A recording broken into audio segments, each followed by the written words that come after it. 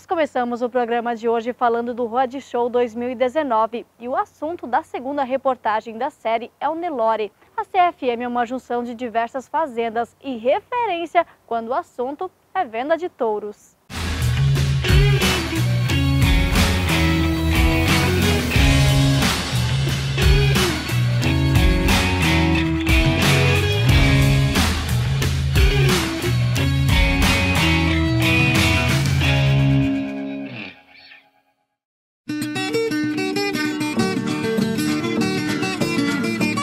Gado branquinho em meio à pastagem parece cenário de novela. E não é exagero. A história da agropecuária CFM renderia mesmo um belo longa-metragem. Pioneira na cobertura das novilhas aos 14 meses, com genética de ponta, respeito ao meio ambiente e números impressionantes na venda de touros no Brasil. Desde o início dos trabalhos com o Nelore aqui na fazenda, já foram criados e vendidos mais de 41 mil touros. Essa quantidade seria suficiente para a cobertura, se todos estivessem vivos, de mais de um milhão de fêmeas.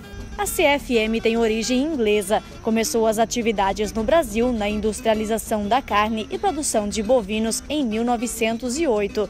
Desde a década de 1980, os Nelores viraram o foco da criação. As matrizes, bezerros e touros estão distribuídos entre as seis fazendas. Na São Francisco de Magda, São Paulo, estão os touros jovens.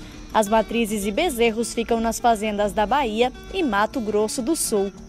É, todos eles já viajaram pelo menos uma vez na vida, né? porque realmente a gente não tem nenhuma vaca aqui no interior de São Paulo. Todos eles nasceram no Mato Grosso do Sul, em nossa fazenda lá próxima de Aquidauana, ou na Bahia, lá próxima a Correntina. Todos eles já viajaram pelo menos uma vez na vida.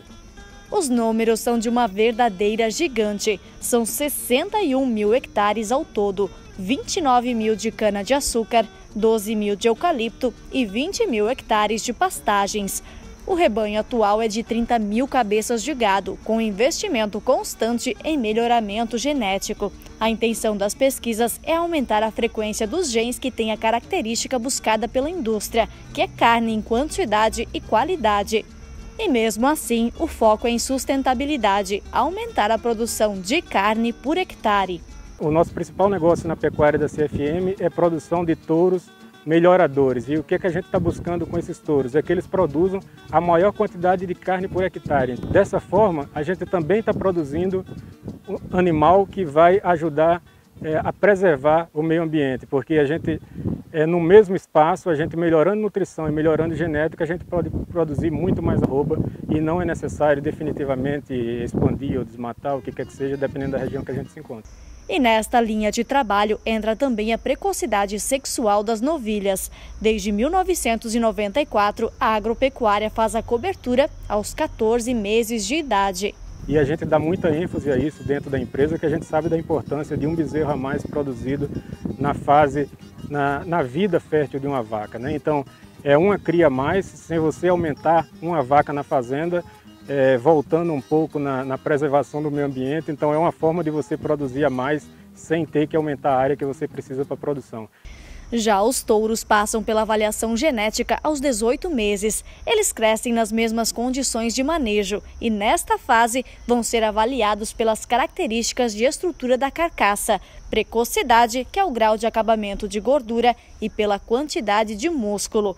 Destes touros jovens, 70% vão para o abate e os demais ficam ainda mais seis meses em criação especial, até estarem prontos aos 24 meses para leilão ou venda de sêmen.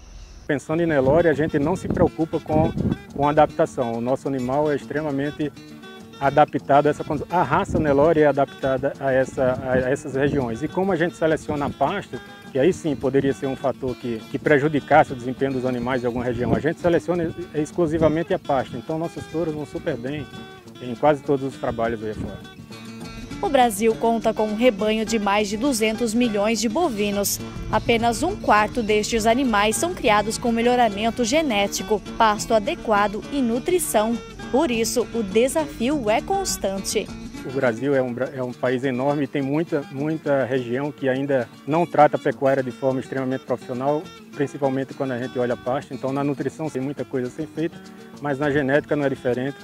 É, tem muito a ser feito e, e a gente não descuida. Ano a ano a gente quer fazer uma safra melhor do que o ano anterior.